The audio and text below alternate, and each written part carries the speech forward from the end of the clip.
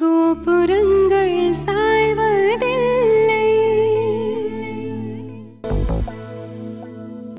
என் உட்பி வீட்டில் இருக்கேன். உனக்கு போகணும்னு தோணிடுச்சா? ஆமா நீ ஆஃப்டர்நூனுக்கு அப்புறம் பேங்க் போகணும்ல? என்கிட்ட பொய் சொல்லலாம். என்னை ஏமாத்தலான்னு மட்டும் நினைக்காத. இந்த காலத்துல பையன் பைக்ல பொண்ணு போறதும் பொண்ணு பைக்ல பையன் போறதும் பெரிய விஷயமா என்ன? நான் உன்னை கவனிச்சுக்கிட்டு தான் இருக்கேன். நீ ஹாப்பியா இருக்கிற மாதிரியே தெரியலையே. நான் சிங்கத்தோட தான் விளையாடுவேனா? நானாவது பயப்படுறதாவது. சரி சிவா. நான் இப்ப கிளம்புறேன். அப்பா இன்ஜினியரை பார்த்து பேசிட்டேன்னு சொன்னாரு. இன்ஜினியர் பிளான் எல்லாம் ஒர்க் அவுட் பண்ணி முடிச்சிட்டாராம் நீயும் நானும் சேர்ந்து வந்தா மீட் பண்ணி ஃபைனல் பண்ணிடலான்னு சொன்னாரு. சரி. அதனால ஒன் ஆர் டூ டேஸ்ல நீ வீட்டுக்கு வந்துட்டு போ. அதுக்கு என்ன? தாராளமா வீட்டுக்கு வந்துட்டா போச்சு. இருக்கு. தர்மம் பண்ணுங்கம்மா.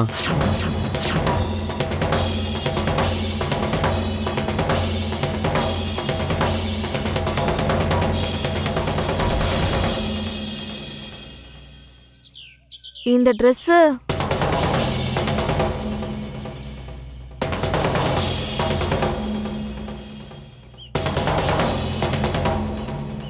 இந்த Dress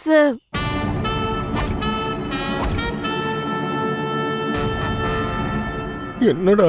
சிவா? அந்த சிசிடிவி ஃபுட்டேஜ்ல எனக்கு ஃபோன் பண்ண ராஸ்கல் அவன் போட்டுட்டு இருந்த Dress இதே தானே சிவா? என்ன? அப்போ அப்போ இவன் தான் அந்த ராஸ்கல். டேய் சொல்லு. யாரா நீ? சொல்லு. சொல்லாத. எதுக்காக எனக்கு ஃபோன் பண்ணி எங்க அப்பாவுக்கு ஆக்சிடென்ட் ஆயிடுச்சுன்னு சொன்ன? சொல்லு. டேய். யார் நீ? ஐயோ அம்மா நீங்க என்னம்மா சொல்றீங்க? நான் உங்களுக்கு ஃபோன் பண்ணி உங்க அப்பாவுக்கு ஆக்சிடென்ட்னு சொன்னேனா? ஐயோ என்ன வளர்றீங்க? ஏய் ஏன் கிட்ட போய் சொல்லாத? நீ மடிப்பாக்கத்துல இருக்கிற ஒரு பிசி இருந்து எனக்கு ஃபோன் பண்ணல? மடிப்பாக்கம் பிசிஓலையா பத்து பன்னெண்டு வருஷமா நான் இந்த அசோக் நகரை தாண்டி எங்கேயுமே போனது இல்லையாம்மா என்னைய போய் மடிப்பாக்கம்னு சொல்றீங்களே. ஏய் எனக்கு இந்த Dress நல்லா ஞாபகம் இருக்கு. இந்த ஜீன்ஸ் இந்த ஷர்ட் இந்த கேப் எல்லாமே ஞாபகம் இருக்கு. போச்சு. பொய் சொல்லாம சொல்லு. சொல்லு. ஆமாம்மா இந்த பேண்ட்டு இந்த சட்டை இந்த கேப்பு எல்லாம் இந்த தர்மபிரபு தாம்மா கொடுத்தாரு.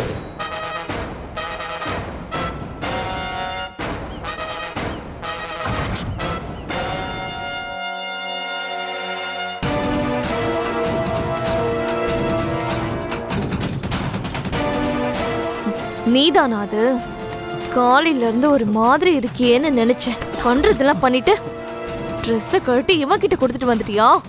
ஒண்ணு. சொல்லுடா. எதுக்குடா அந்த மாதிரி எனக்கு கால் பண்ண? எதுக்குடா எங்க அப்பாவுக்கு ஆக்சிடென்ட் ஆயிடுச்சுன்னு போய் சொன்னேன் நானும் என் சிவாவும் லஞ்சுக்கு போறத தடுத்துட்டியேடா. வலிக்குது வருஷா. சொல்லுடா. டேய் நீ புலிப்பால் கொண்டு வரவனா? ஆ?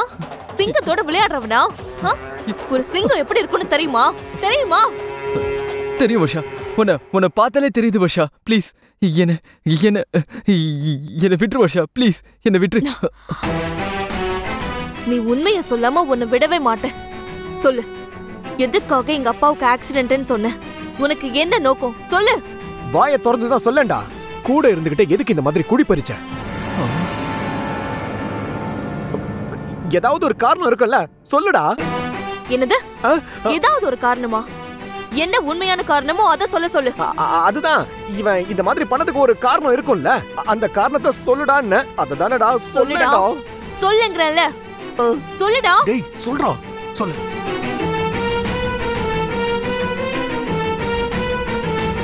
சொல்றேன். சொல்லு. எதுக்கு அப்படி பண்ண? ஊர்ல இருந்து என் ஃப்ரெண்டு ஒருத்தன் கால் பண்ணி ஹைவேஸ்ல கல்யாண சுந்தரம்னு ஒருத்தருக்கு ஆக்சிடென்ட் ஆயிடுச்சுன்னு சொன்னான் அவன் கல்யாண சுந்தரம்னு சொன்னது எனக்கு சண்முக சுந்தரம்னு கேட்டுச்சு. ஆஹா சண்முக சுந்தரம் நம்ம வர்ஷோட அப்பாவாச்சேன்னு பதட்டப்பட்டு தான் வேகமா உனக்கு கால் பண்ணேன். அப்போ அந்த கல்யாண சுந்தரத்தை நீ சண்முக சுந்தரமா நினைச்சிட்ட. ஆமா. பரவாயில்ல. இதுவும் ஒரு வேலிடான ரீசனா தான் இருக்கு வருஷா. இத அப்படியே விட்டுறலாம். நில்லு சிவா. எது வேலிடான ரீசன் உண்மையிலே இவன் அந்த நோக்கத்தோட பண்ணிருந்தா இவன் நம்பர்ல இருந்தே ஃபோன் பண்ணிருக்க வேண்டியதானே எதுக்கு பேசி உன் நம்பர்ல இருந்து கால் பண்ணான் இவன் கிட்ட ஏதோ ஒரு தப்பு இருக்கிறதுனால தான் வேற நம்பர்ல இருந்து கால் பண்ணிருக்கான். இத பாரு நீ சொல்றதும் ஒரு வேலிடான ரீசன் தான். இத நான் யோசிக்கல. லெட் மீ இன்வெஸ்டிகேட் சொல்லுடா எதுக்காக பிசிஓல இருந்து ஃபோன் பண்ண? எதுக்காக ஃபோன் பண்ண அவ கேக்குறால அதுக்கு ஏதாவது ஒரு காரணம் வச்சிருப்பல சொல்லுடா சொல்லுடா நிறுத்துடா.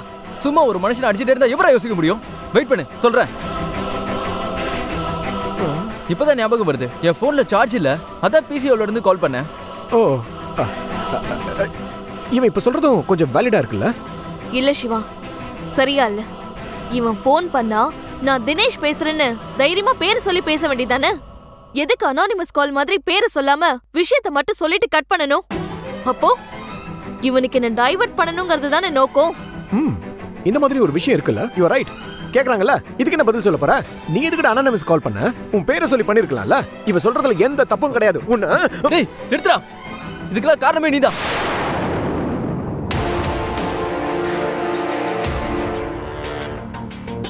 எல்லாத்துக்கும் காரணம் நானா?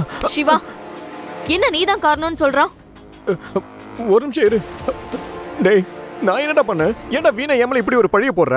நீ தான் அன்னைக்கு காலையில இருந்து வருஷா கூட லஞ்சுக்கு போறேன்னு ரொம்ப எதிர்பார்ப்பா இருந்தியா? முதல் நாள் ராத்திரில இருந்தே அதை சந்தோஷமா சொல்லிட்டே இருந்தியா? அதான் சும்மா கலாய்க்கிறதுக்காக அப்படி பண்ணிட்டேன். வர்ஷா இது லாஸ்ட் அண்ட் ஃபைனல் பாயிண்ட் இவன் சொல்றதும் வாஸ்தவமான பேச்சு தான் முதல் நாள் ராத்திரில இருந்தே உன் கூட லஞ்ச் போறத பத்தி ஜாலியா ட்ரீம் பண்ணி சந்தோஷமா இருந்தானா?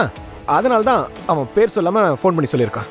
இவன் மட்டும் ஃபோன்ல பேரை சொல்லியிருந்தான் வையேன். நானே இவனை ஒரு நாலு சாத்து சாத்திருப்பேன்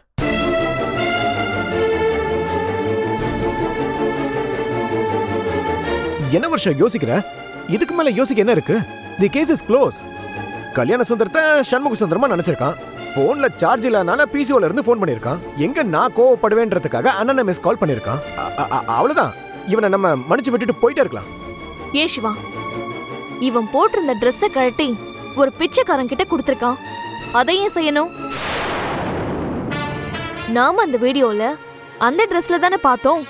அந்த விஷயம் தெரிஞ்சுதானே இவன் அதை பிச்சைக்காரனுக்கு கொடுத்திருக்கா?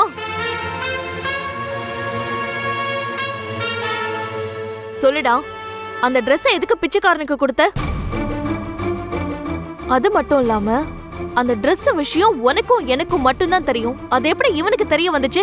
நீ ஃபோன் பண்ணி சொன்னியா சிவா? ஐயோ சும்மாலாம் நீ என்ன இந்த மாதிரி எல்லாம் சந்தேகப்படாத இன்ஃபேக்ட் நான் அவனை சாப்பிட வரும்போது தான் பார்த்தேன். வேற எதுவும் நான் அவன்கிட்ட சொல்லல. இரு நானே அவன்கிட்ட கேக்குறேன். டேய் ட்ரெஸ் விஷயம் உனக்கு எப்படிடா தெரியும்? நீ என்ன அந்த பிச்சைக்காரனுக்கு ட்ரெஸ்ஸை தானம் பண்ண?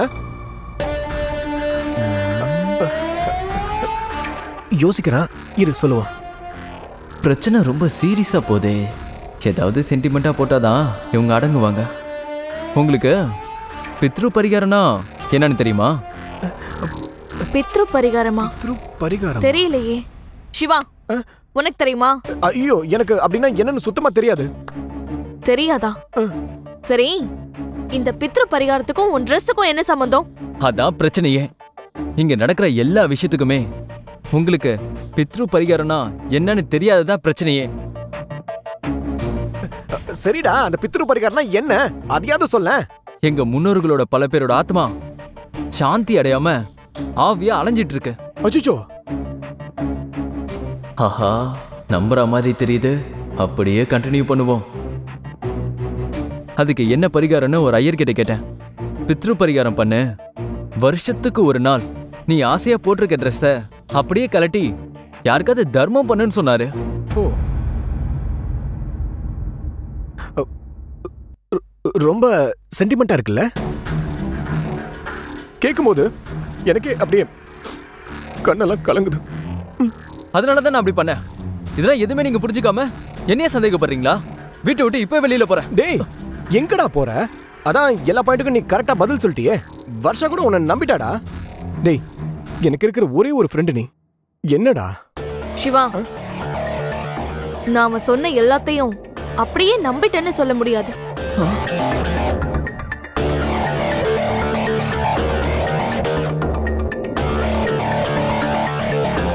ஏன் வருஷா? அவன் அவன் முன்னோர்கள் அப்படி இப்படின்னு ஏதோ சொல்றதுனால இந்த பிரச்சனைய இப்போதைக்கு பெருசு பண்ண வேண்டாம்னு நினைக்கிறேன். ஆனா ஒண்ணு நான் இதை என்கொயரி பண்ணிக்கிட்டே தான் இருப்பேன். அந்த சரியான திருடனை கண்டுபிடிக்காம நான் விடவே மாட்டேன் சிவா.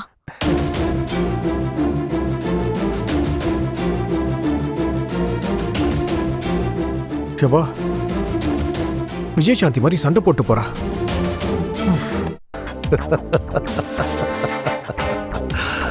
சிவா பரவாயில்ல சிவா. நான் உங்களை என்னமோன்னு நினைச்சேன் நீங்க பிரச்சனைகளை ரொம்ப பிரமாதமா ஹேண்டில் பண்ணியிருக்கீங்க. ஒவ்வொரு சமயமும் சைக்கியாட்ரிஸ்ட்ங்கிறத நல்லா ப்ரூவ் பண்றீங்க. சார் நீங்க சிரிச்சுக்கிட்டு இருக்கீங்க. நான் ஒவ்வொரு பிரச்சனையை தாண்டி வரதுக்குள்ள எனக்கு போதும் போதும் ஆகுது சார். நான் ஒவ்வொரு பிரச்சனையிலும் கத்தி மேல நடக்கிற மாதிரி இருக்கு எப்பதான் இந்த பிரச்சனை எல்லாம் முடிஞ்சு எனக்கு ஒரு விடுவு காலம் கிடைக்குமோன்னு தெரியல சார். சிவா உங்களோட பிளான் என்னன்னா இந்த கல்யாண ஏற்பாடெல்லாம் மேடை வரைக்கும் கொண்டு போயிட்டு உங்க தங்கச்சி கழுத்துல தாலி ஏறின உடனே அந்த மேடையிலேயே நான் வர்ஷாவை கல்யாணம் பண்ணிக்க மாட்டேன். மீராவை தான் கல்யாணம் பண்ணிக்க போறேன்னு டிக்ளேர் பண்ண போறீங்க. அப்படிதானே ஆமா சார் ஆனா அதுக்கு முன்னாடி இந்த விஷயம் எந்த இடத்துல உடைஞ்சாலும் மொத்த பிளானையும் கொலாப்ஸ் பண்ணிடும். இந்த வருஷாவும் பொழுது விடிஞ்சா நேரா கிளம்பி சென்னைக்கு வந்துடுறா வருஷாவும் மீராவும் ஃப்ரெண்டா இருக்கிறதுனால எந்த செகண்டும் உங்க பிளான் உடையறதுக்கு வாய்ப்பு இருக்கு. ஆனா இந்த பிரச்சனை சரியாகணும்னா ஒரே ஒரு வழிதான் இருக்கு. என்ன வழி சார் சொல்லுங்க. நீங்க ஏன் ஒரு வாரம் எங்கேயாச்சும் வெளியூருக்கு போக கூடாது சார் அது எப்படி சார் முடியும்? எனக்கு வேலை சென்னையில். இங்கே நான் வேலையை விட்டுட்டு என்னால் ஒரு வாரம் லீவ் எதுவும் போட முடியாது சார்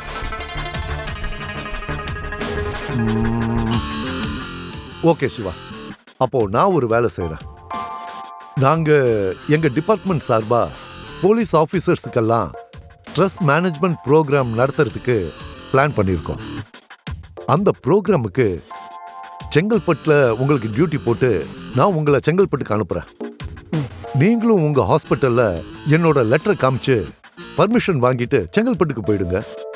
நீங்கள் அங்கே இருந்தால் வர்ஷா இங்கே வரமாட்டா. வர்ஷாவும் மீராவும் மீட் பண்ணுற பிரச்சனையே இல்லை. ஸோ ப்ராப்ளம் உங்க கண்ட்ரோலுக்கு வந்துடும் என்ன சொல்றீங்க? சார் சூப்பர் ஐடியா சார் நீங்கள் தான் சார் என் கடவுள். அந்த கடவுளே வந்து எனக்கு ஒரு ஐடியா கொடுத்த மாதிரி இருக்கு சார் அந்த லெட்டர் மட்டும் எனக்கு நீங்கள் கொஞ்சம் சீக்கிரமாக கொடுத்துட்டீங்கன்னா நான் எங்கள் ஹாஸ்பிட்டலில் உடனே லீவ் வாங்கிறேன் சார் அப்புறம் நான் செங்கல்பட்டு போயிடுறேன். என்னால் மீராவும் வர்ஷாவும் ரெண்டு பேரும் மீட் பண்ணுற மூமெண்ட் கொஞ்சம் கூட என்னால் நினச்சி பார்க்க முடியாது சார் ஓகே சிவா. நீங்க ஒன் வீக் செங்கல்பட்டுக்கு போறதுக்கு ரெடி ஆயிடுங்க. மத்த விஷயங்களை நான் ஃபோன்ல இன்ஃபார்ம் பண்றேன். சரிங்க சார் அப்போ நான் கிளம்புறேன். ரொம்ப தேங்க்ஸ் சார் ஓகே சிவா. நான் வரேன் சார்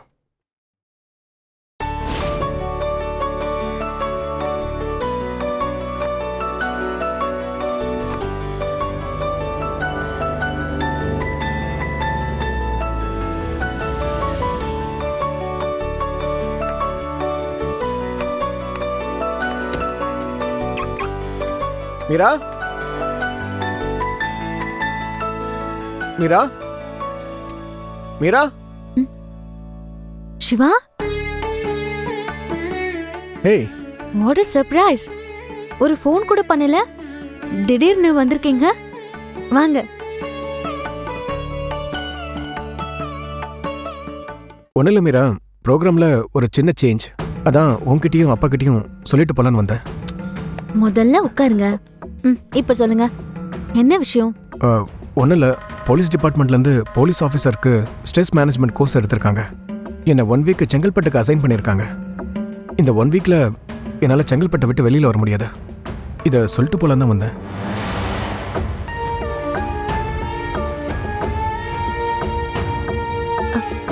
என்ன சிவா?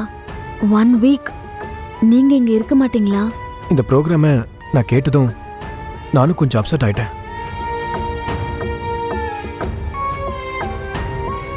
இப்பதான் நீ நானும் சேர்ந்து டைம் ஸ்பெண்ட் பண்ண ஆரம்பிச்சிருக்கோம். இன்ஃபேக்ட் சொல்லப்போனா இப்பதான் நம்ம ரெண்டு பேரும் மனசு விட்டு பேச ஆரம்பிச்சிருக்கோம் பழக ஆரம்பிச்சிருக்கோம். இந்த டைம்ல இந்த மாதிரி ஒரு கேப்பை என்னால் கூட ஏற்றுக்க முடியல. ஆனால் என்ன பண்ணுறது போலீஸ் டிபார்ட்மெண்ட்லேருந்து வந்த அசைன்மெண்ட் என்னால் அதை அவாய்ட் பண்ண முடியல. ஒன் வீக்னா ஏழு நாள். ஏழு நாள்னா seven morning and nights hundred and sixty eight hours இத்தனை மணி நேரம்? எப்படி சிவா? எப்படி உங்களை பார்க்காம நான் இருப்பேன்? எனக்கு கொஞ்சம் அப்செட்டாக தான் இருக்கு. ஆனால் இந்த நேரத்தில் உன்னை இந்த நிலமையில விட்டுட்டு போறேன். ஐ எம் எஸ்ட்ரீம்லி சாரி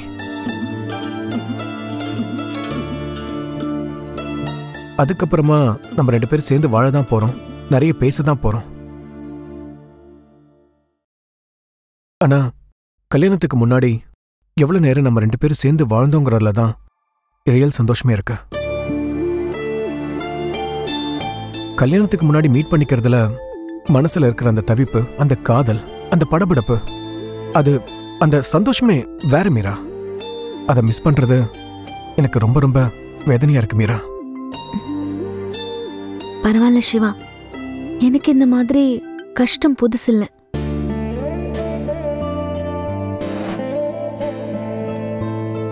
அது என்ன காரணம்னே தெரியல. எதுக்காகவும் நான் ரொம்ப சந்தோஷப்படக்கூடாதுன்னு அந்த கடவுள் முடிவு பண்ணி வச்சிருக்காரு. என்னை ரொம்ப நேசிக்கிறவங்கள இல்ல நான் ரொம்ப நேசிக்கிறவங்கள என்கிட்ட இருந்து உடனே பிரிச்சிடுறாரு. என்னால இதை தாங்கிக்கவே முடியல சிவா. நான் அட்ஜஸ்ட் பண்ணிக்கிறேன்.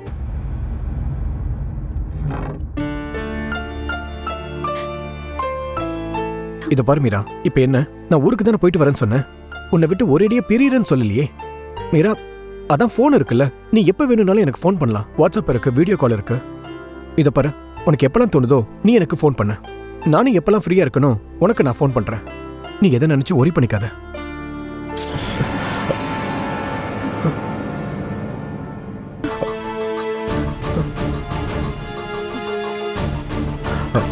கரண்ட் போயிடுச்சு. ஒரு நிமிஷம் இருங்க. நான் போய் கேண்டில் எடுத்துட்டு வரேன்.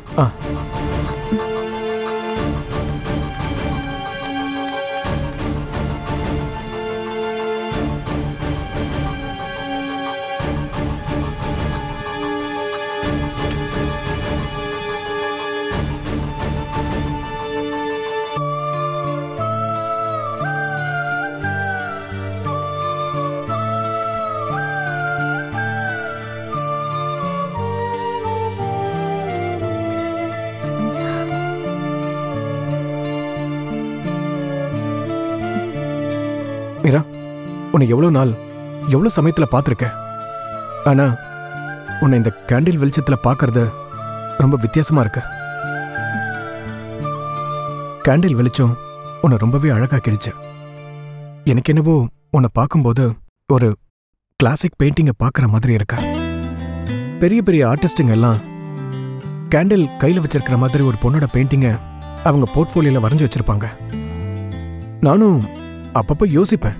எதுக்காக இவங்க இந்த மாதிரி மொமெண்ட்டை யூஸ் பண்ணி வரைஞ்சு வச்சிருக்காங்கன்னு? ஆனா எனக்கே இப்பதான் புரியுது. உன்னை பார்க்கும்போது எவ்வளவு பிரமிப்பா இருக்கு தெரியுமா?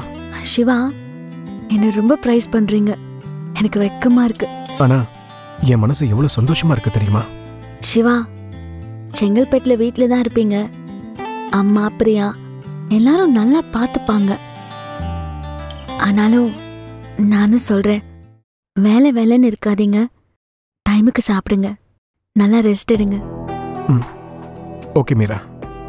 ஐயோ நான் ஒரு ஃபூல் நீங்க வந்து இவ்வளோ நேரம் ஆகுது. ஒரு காஃபி கொடுக்கணும்னு கூட நினைக்காம உங்களை உட்கார வச்சு பேசிக்கிட்டே இருக்கேன். இருங்க சிவா நான் காஃபி போட்டு எடுத்துட்டு வரேன். காஃபி எல்லாம் ஒன்றும் வேண்டாம். உட்காந்து பேசிக்கிட்டு இருக்கலாம். நானோ அப்புறம் அப்பா வந்தா ரொம்ப ஃபீல் பண்ணுவாரு. நீங்க இருங்க இது வந்துடுறேன்.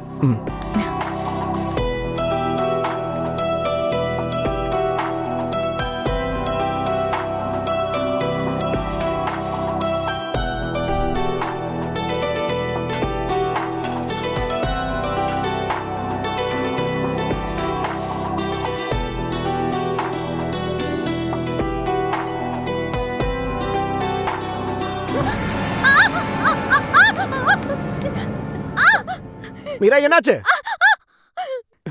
என்னாச்சு? மீரா.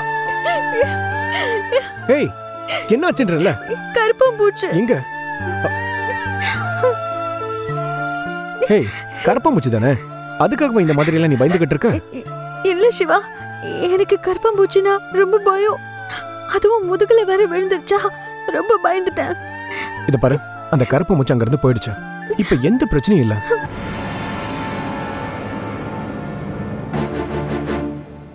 மீரா? மீரா? கரண்ட் போயிடுச்சா என்ன?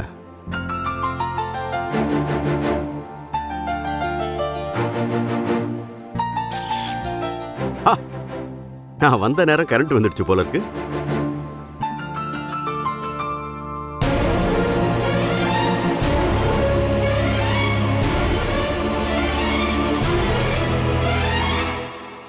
கல்யாணத்துக்கு முன்னாடி எங்கேயாவது எஸ்கேப் ஆகலான்னு முடிவு பண்ணிட்டியா?